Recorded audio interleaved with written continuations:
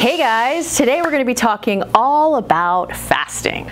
Fasting has been used as part of religion and cultural traditions for quite some time. In fact, you can trace fasting to ancient Greek philosophers like Pythagoras and Hippocrates, and some of you may have experienced fasting growing up as part of Lent or Ramadan as sort of a spiritual cleansing or just family tradition. Over the past several years, fasting has become a popular weight loss method. You may be thinking, why in the world would anyone want to go without food for an extended period of time if they didn't have to? I remember my mom telling me you gotta finish all your food because there were some starving kids in some third world country. Now people are starving themselves on purpose? Okay.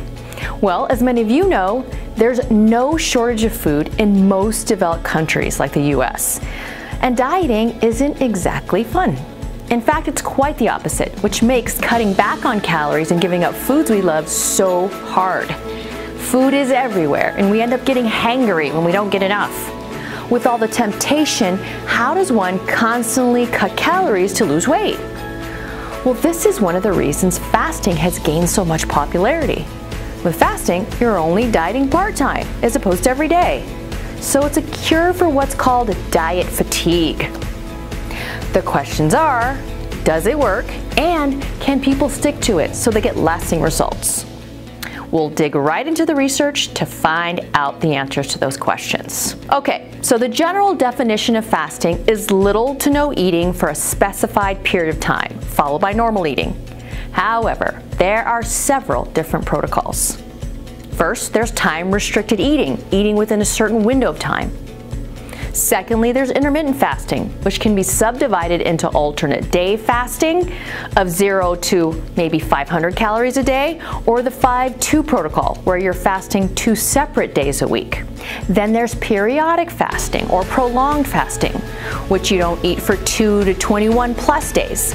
This approach also includes something called fasting mimicking diets, which we won't get into in this video. So time restricted eating. I'll call this TRE for short. TRE is eating all of your calories within a specified time window every day. Common examples include the 16-8 TRE, in which all food is consumed within 8 hours, followed by 16 hours of no eating. The 24 TRE restricts eating to a 4-hour window and so on. Maintaining an eating window of 8 to 12 hours is associated with lower body fat, less inflammation, improved gut function, better sleep, and improved markers of aging. There's some promising, yet limited, research in humans.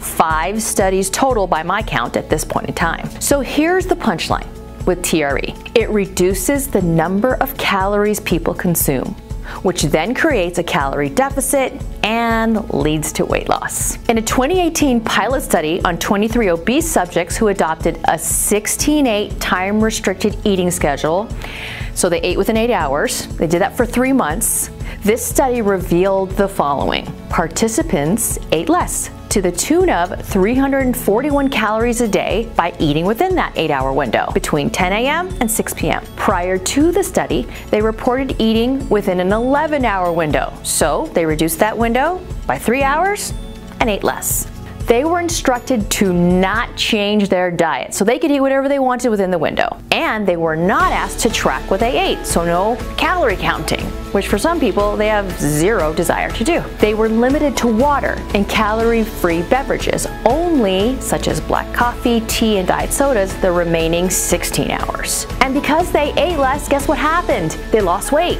to the tune of 3% of their starting body weight compared to matched controls.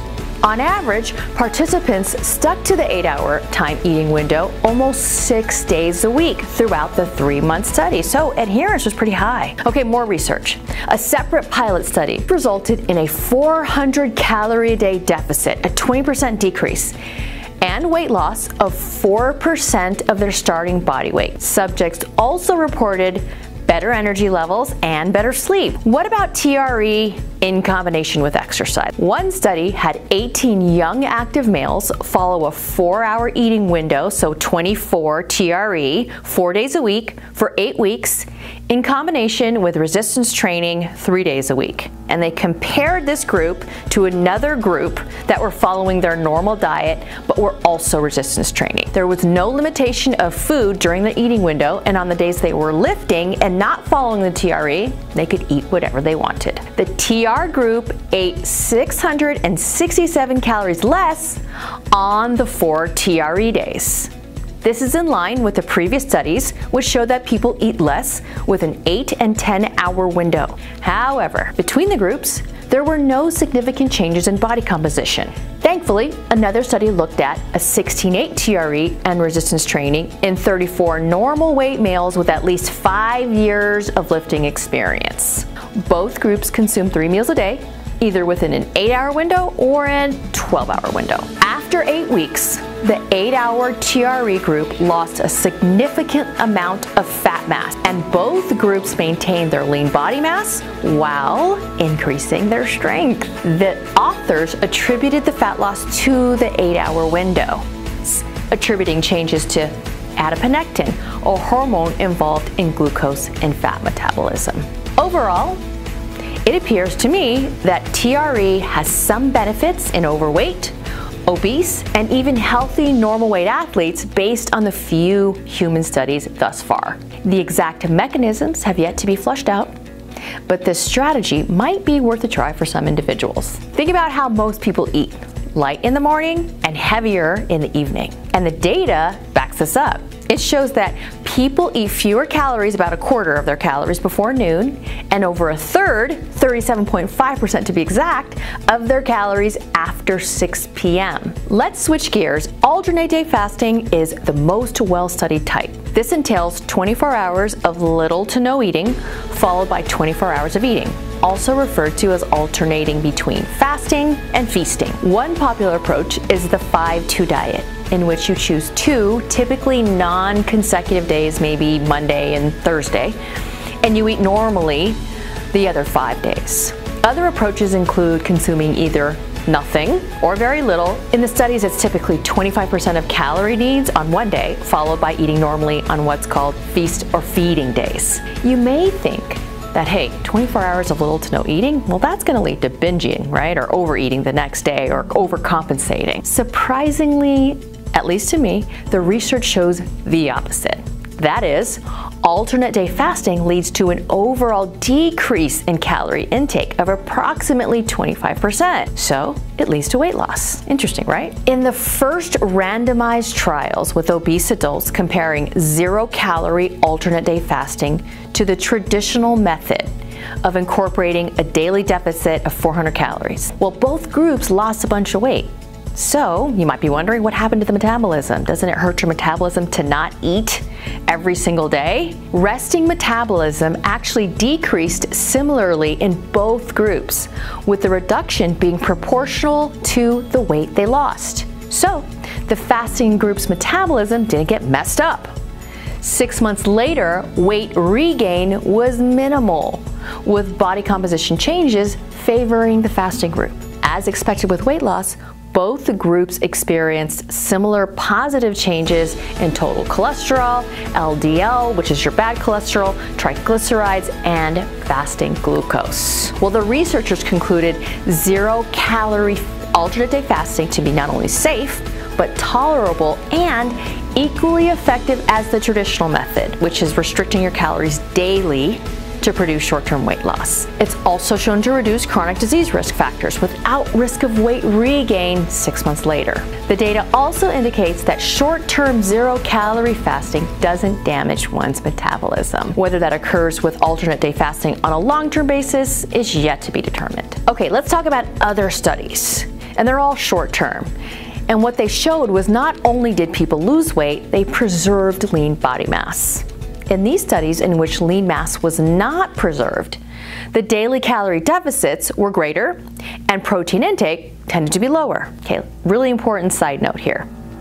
Weight loss in general leads to about 75% fat loss and 25% lean body mass loss. The loss of lean body mass is always greater when one or all three of these factors exist. A severe calorie deficit that's like 50% of total calorie needs, lower protein intakes, and lack of exercise, namely resistance training. Good to know, right? Okay, back to alternate day fasting. A much larger and longer randomized trial with 100 obese adults found that alternate day fasting was equally effective as continuous calorie deficits over six month period designed for weight loss, followed by a six month weight maintenance phase. The alternate day fasting group consumed 25% of their calorie needs, about 500 calories on fasting days, and 125% of their calories on their feasting days. The group that had a daily calorie deficit also cut their intake by 25%. Again, going back to not having to diet every single day. So here's what happened. After the six month weight loss phase, there were no significant differences between groups for weight loss, body fat, or lean mass. After a year, there was no significant difference for weight regain. The alternate day fasting group regained an average of 1.7 pounds, and the continuous daily calorie deficit group regained an average of 3.3 pounds. So, contrary to what the researchers hypothesized, alternate day fasting did not produce greater weight loss or improvements in cardiovascular risk factors, nor was it easier to stick to. In fact, it might be more difficult. It did, however, produce similar results to traditional dieting or continuous calorie restriction for weight loss and maintenance. Put another way, alternate day fasting didn't increase risk of weight regain. So, what does the overall body of evidence show about alternate day fasting? We can get this information from scientific reviews. That's when authors pool all of the related research and the data on a particular topic, they analyze it, and then they draw a conclusion. This gives us more insight than looking at individual studies. So here's a summary of two separate reviews. One review identified these key points. As we talked about, most studies are short term, that is less than six months. And these studies show that intermittent or alternate day fasting being equally as effective as the traditional dieting approach for producing weight loss with no evidence of harm. The review also concluded that hunger and adherence can be challenging. Think about how fasting might impact your social life, dinner meetings, family gatherings, and other events you typically enjoy. There's a lot that isn't known yet about fasting. Some data suggests that intermittent fasting is not associated with disordered or binge eating and low mood states. Other studies are more cautious and do not suggest intermittent fasting for people with a history of eating disorders, depression, and maybe even anxiety. It's also not indicated for people with diabetes or meds that require food intake unless under the care of a medical professional. The impact of intermittent fasting on reproduction and menstrual cycles unknown. And we don't know much about whether intermittent fasting can prevent weight gain in people with a healthy body weight. So these authors concluded that the ideal fasting protocol cannot be determined at this present time based on the research so far, or whether fasting is an effective long-term strategy without adverse effects on metabolism, reproduction, and overall health. A more recent review had similar findings. Intermittent fasting may not be appropriate for individuals with eating disorders and depression, since fasting may lead to overeating followed by guilt, anxiety, thus potentially triggering or exacerbating depressive symptoms. Athletes who perform high intensity activity may experience performance decrements, although intermittent fasting in combination with endurance exercise may benefit body composition. Animal studies show positive effects on the gut microbiome, resistance to age-related disease, inflammation, and lifespan. However, whether these benefits occur in humans is unknown. Reports of dropout rates in intermittent fasting studies has been shown to be as high as 40%. So the impact of intermittent fasting on hunger and lifestyle, including social activities, may make this weight loss strategy pretty hard to adhere to and adopt as a lifelong approach to managing weight. So at present, it, intermittent fasting appears to be equally effective as continuous calorie restriction. And diet fatigue may deem intermittent fasting easier for some people. You just aren't dieting all the time. It's also a very simple strategy. You don't count macros, you don't eliminate entire food groups, or you don't give up your favorite foods. So people with a highly demanding career, maybe people who aren't interested in tracking food at all, counting their macros, they can handle the stress of not of fasting and not eating for periods of times. That those might be the people that this might be suited for. The limited evidence thus far shows that time restricted eating produces a 20% calorie deficit, resulting in weight loss of between 1 and 4% of their initial body weight for over a 3 to 4 month span. The research also shows at present that alternate day fasting results in a daily calorie deficit of 25 to 35% and weight loss of 4 to 6% of starting body weight over 3 months.